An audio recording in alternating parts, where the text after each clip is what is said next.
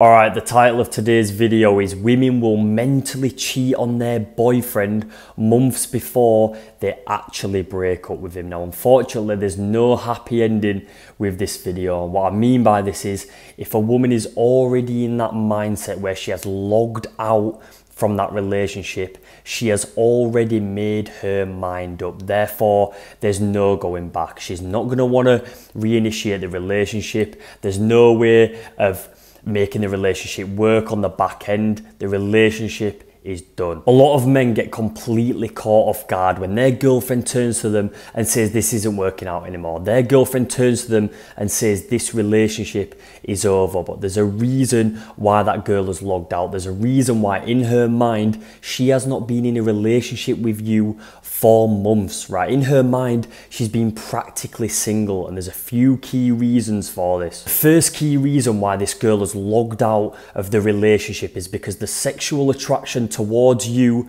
has gone, right? You've got to understand that on that first date when you were truly trying to impress this girl, right? When you were at your best, right, in your single days, you kept your hygiene on point, your beard was nicely trimmed, maybe you went to the gym five days a week, right? You had your life together, right? And nowadays, right, now you've been dating this girl for a while, you're getting all comfortable, right? What's happened? Your hygiene has slipped off, you're sitting on the sofa eating pizza rather than going to the gym, right? Maybe your body's got a little bit fat, maybe you've got a bit skinny on the other side of things, right? When you fast forward yourself to the current day when you've been with this girl for a while, you start to see the differences. The second key reason is that she no longer respects you, right? You've got to understand that making concession after concession when it comes to your boundaries and always saying yes to whatever this girl says has caused her to lose respect for you, right? It's the little things in day to day life. Maybe she tells you to do this, maybe she tells you to do that, and you're always saying yes to this girl, right? You need to have some sort of backbone when it comes to the relationship. You need to learn to say no to her more because you're, if you're always making concession after concession, she's going to think that she can push you around, right? And that lowers her respect for you, and therefore, thinks she can do better. Speaking of doing better, the third key reason is that her hypergamy believes she can do better than you, right? These tiny little things that you are doing throughout this relationship, these tiny little concessions all build up in her subconscious and they take effect on her, right? She now believes that her SMV, sexual market value, is higher than yours. She can attract men of higher value than her current boyfriend, which is you. However, you only attract lower quality women that are below her now. Okay, you see where these little things start to add up. Now she believes that she can actually do better than you. She's looking at your relationship and going, wait, why am I with this man when Gary from the bar over there. He's making 100 grand a year. He's got his life together and he's actually looking trim. He might have been to the gym all week, right? And my man sat on the sofa eating a Domino's pizza, getting fat as fuck, and just saying yes to me all the time, right? You've got to understand where the line is at this point when she's been together with you for a year, two years, and you've just been saying yes, yes, yes all the time. Her hypergamy gets the best of her and you fail it. Therefore, she's going to try look for a better, more higher value man. So you're probably sat there thinking now, well, Tom, why has the sexual attraction gone from our relationship? Why does my girlfriend not respect me? Why does she think she can do better, right? Why have I failed hypergamy? Well, there's a reason for this, guys. The first reason for this is because you have lost the frame and when you have lost the frame in your relationship, unfortunately, there's just no going back. The whole time you've been in a relationship with this girl, she's been the leader, right? She's been leading that relationship. And it's very difficult to switch from her leading the relationship to you leading the relationship because she's so used to being the leader, right? You've been with this girl for months, maybe a year, maybe three years, and she's been making the decisions the entire time. It's down to as little as she's been making the decision on where you've gone to eat on your date, right? She's been making the decisions on whether you're going to go out this weekend, right? You've not been making any of those decisions, right? She's been the leader, and it's impossible for her to go from that to now take orders from you because she's never done that since the start of this relationship, since the start of your relationship. She has been making the rules, she has been setting the boundaries, and you've just been saying yes. You've just been following her. She's also going to take a step back, right? She's going to be thinking, wait, what value does my man actually add to my life? Right? She's going to start to see you more as a liability rather than a positive.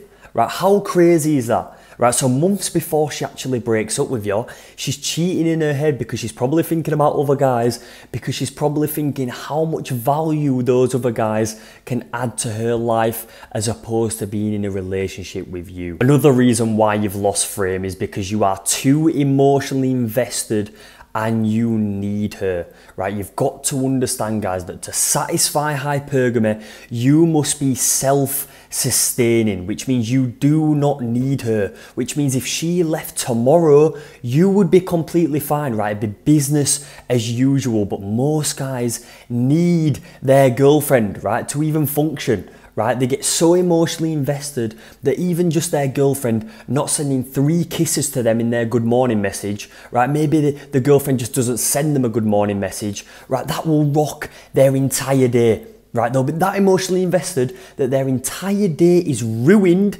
right? Because this girl has not sent a good morning text. How crazy is that? Just think about how emotionally invested you really are when one thing your girlfriend does, right, can impact your entire day. Maybe she has an argument with you because you haven't took the bins out. Maybe she has an argument with you because you haven't washed the dishes. And guess what? Now you're in a mood for the entire day. You are too emotionally invested and you care too much. So not only have you lost the frame, right, but you're also now less attractive. Right, the majority of the time when you see a woman breaking up with a man, he is way less attractive than he was when she met him, right? Maybe he's put on weight, maybe he's got really skinny, right? As a vice versa. Maybe he now plays video games when he used to go to the gym five times a week, right? He's stuck on Call of Duty or FIFA all day, right? Opening FIFA packs, right? Thirdly, you, you have lost the mystery, right? She knows where you are 24 7. You text her 24 7. She knows you're at work at 9 to 5 every day, and then she knows what you're doing after work. You're going to the pub, same time, same place, every single day with the same friends, right? She knows exactly what's going on, so you're way less attractive. And thirdly, she's logged out because you've got too routined right? You've got too set in your ways. You've spent too much time with her and no time with your friends. She sees you do the same thing every day. You do the same thing every weekend, as I said before. You're less spontaneous now, right? So you've made her bored, right? You've planned date nights loser thing to do, by the way. Stop planning date nights. You're not doing random things that you used to do when you first was dating this girl, right? You've just got boring and mundane and she knows what to get out of you, right? There's no mystery anymore. But how's she actually going to do this, right? How's she going to mentally cheat on you months before she's even broken up with you, right? Well, the first thing she's going to do is she's going to start putting herself back out there, right? The reason why she does this is because she wants to line up your replacement before she ends things with you, right? At the moment, she's in a relationship with you, you're giving her the utmost attention, right? And she needs to fill that void that the breakup with you is going to create, right? So the new guy that she's going to line up as your replacement is going to fill that attention void. And what better way to do this by using Instagram, right? The biggest dating app going. So what's she gonna do? She's gonna post more frequently on Instagram. She's gonna post more provocative shit on Instagram, right? Maybe there's bikini posts, maybe in them nice tight gym, leg gym leggings that you've never seen her posing before, right? She's gonna make her account on public, right? Maybe it was on private before. Now it's public. Now she's got all the boys liking her stories, all the boys viewing her stories because guess what? She is marketing herself to the new selection of men she is going to be treated with when breaking up with you. Another way she's going to start putting herself back out there is by starting new hobbies. For example, having an obsession with the gym, right? Girls going to the gym is good, don't get me wrong, right? They're in great shape, fantastic. Your girls should go to the gym. But when significant big changes happen, where a new hobby becomes like an obsession, right? It's all she talks about, it's where she is all the time, right? Where she's got some free time, right? This is a cause for concern because it's her way to reintroduce herself back into the dating market, but very subtly, right? So her boyfriend, you, doesn't realize. Because think about it if you turn to her and say, Why are you spending so much time at the gym? Right, you're spending three hours a day, seven days a week at this gym. She's going to be going, Well, you don't support my new hobbies right? You don't support me, right? I'm trying to look good for you. Little do you know, she's talking to those personal trainers, right? Who higher value. She's talking to some guys in there that she's had her eye on for a couple of months, right? And she's lining up her replacements for you. Also, the obvious one, she's going to spend more time with her girlfriends, right? She's going to go out more, she's going to go out to the bars more, she's going to go out to the clubs more, right? This is an obvious sign that she's starting to put herself out there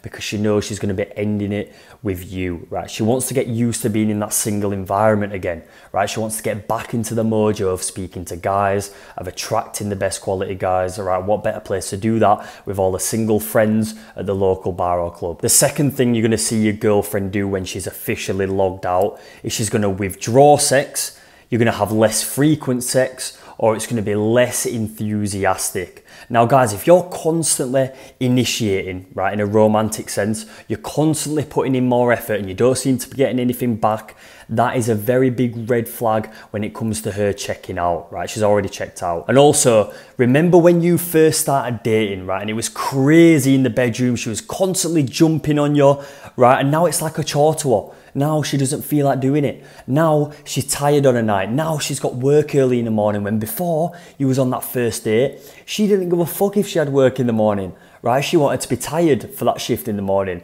right? If it meant that she gets to sleep with you, if she gets to spend the night in your bed, right? Nowadays, it ain't like that. Guess what? She has checked out. She's no longer in that relationship and she's looking for your replacement. And also, a genuine burning desire has dropped at this point, right? She probably fantasizes about sleeping with other men, unfortunately, right? Maybe it's a guy from work, maybe it's a guy from gym, a new hobby that she's picked up, right? She's going to start fantasizing about other men in that way. She no longer even finds you attractive when she's in this mode, right? She's already broken up with you. The third thing you're going to see a woman do is she's going to start arguments over small issues for absolutely no reason whatsoever, right? So when a woman's logged out, the reason why she's starting these small arguments is to push you away, right? She knows that that breakup is inevitable, right? So she wants to feel as less guilty as she possibly can, right? She doesn't want to feel any guilt when she's breaking up with you because maybe you're a nice guy, maybe you've given her what she's always wanted, but it's not enough. You're not satisfying hypergamy. So what does she do? She starts arguments about dumb shit that don't even need arguments in the first place, right? She'll say shit like, oh, things have just changed, right? Things just feel different, right? And you're sat there and you're thinking, nothing's fucking changed. Nothing's changed about me. If anything, things have got better, right? But little do you know, things have changed in her head, right? And the reason she's starting these little bickers, the reason this manipulation tactic is so common is because she wants to feel less guilt when she dumps your ass. When you start to notice a girl starting arguments for absolutely no reason whatsoever, right, it's time to go, right? It's time to leave that relationship because you've got to understand that once a woman has broken up with you in her head, there is absolutely nothing that you can do about it, right? There's no reviving the relationship, it's done. And the best real solution, right, the best thing you can do is leave on your own terms, right? And start focusing on bettering your own life, right? Start focusing on leveling up your own life, right? That is the best possible outcome. You're not going to get her back no matter what you do, no matter if you argue with her, no matter if you beggar, right? All that stuff just makes you look like a dickhead, right? Don't do it. If you like today's video, drop it a like, leave a comment and subscribe to the channel for more. I love you.